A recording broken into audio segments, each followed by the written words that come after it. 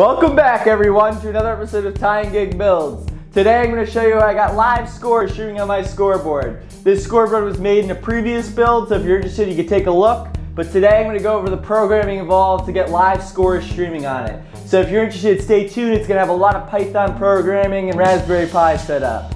Boom! Okay, so let's get started talking about the repository. This repository is an exact copy of the other repository we are talking about in the previous video.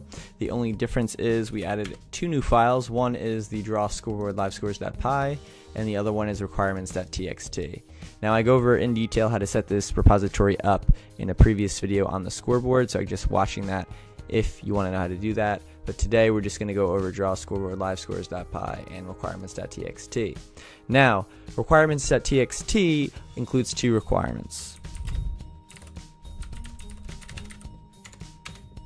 It includes the bibliopixel requirement, which allows us to draw letters to the screen, and it includes the sports.py requirement, which allows us to get live scores to the screen. The bibliopixel library is talked about in a previous video on message boards, so I'll link to that if you're interested. That video shows you how to get this set up for the message board. It's exactly the same as the scoreboard, so I'll link that if you're interested. The sports.py one is a new one, which we're doing in this video, which will give us, it's an API that will give us access to live sports scores. So let's just start with trying to install these dependencies here. Three install requirements requirements.txt.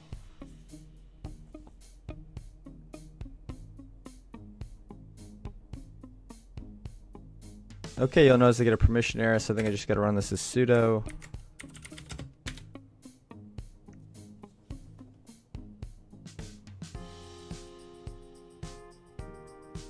Great, so it says it's successfully installed.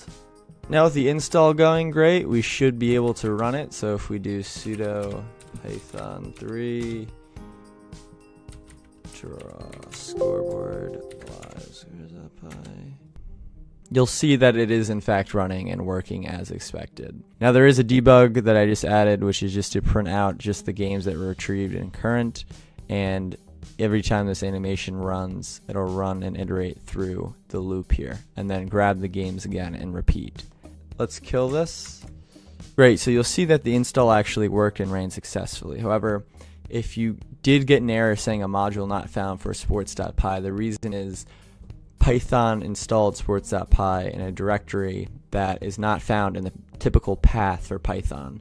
So you need to move those files. The way to move it is to simply go into Python 3, import sports, print out the sports location,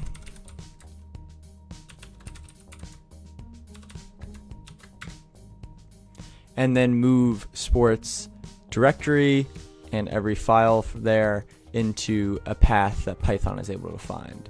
Now, in order to figure that out, you'll need to run the draw live scoreboard live scores py file and you'll have to print out the path for Python. And to do that, you would just do import sys sys.path.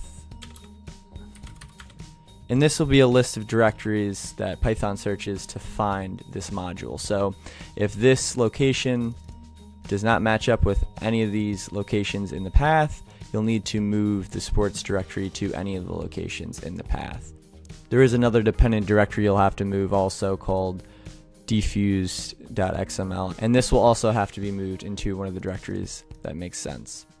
Great, so let's walk through the code really quick. This code is very similar to the last project, draw scoreboard update.py, except we're getting live scores. The only difference is we're doing something a little advanced, and that's we're just running the request to get games in a different thread. Now you may be wondering, why are we using this sports library? There's probably a bunch out there. Why did you choose this one?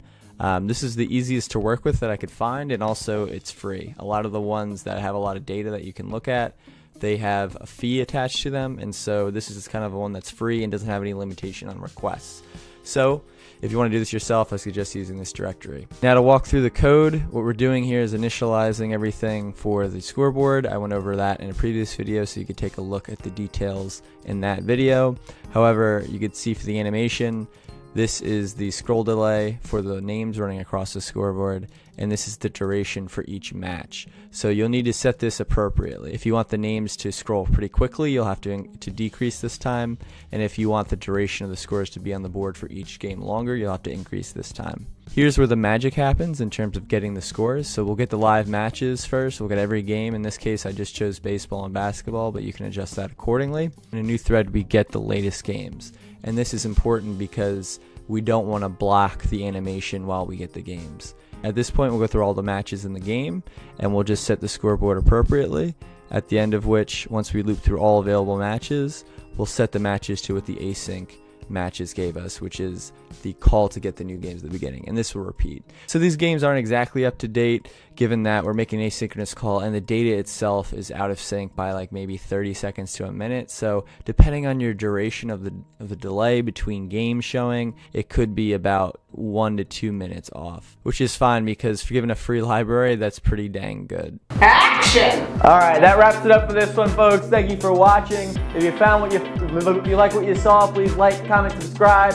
Consider joining our Instagram following for updates throughout the week. I am very pleased with the result. It's not updated the nearest second, but it is the nearest minute or two, and that'll do just fine for us. We love to bet in this house, so we're gonna place this in the living room and just let it go by. Hopefully no one breaks it.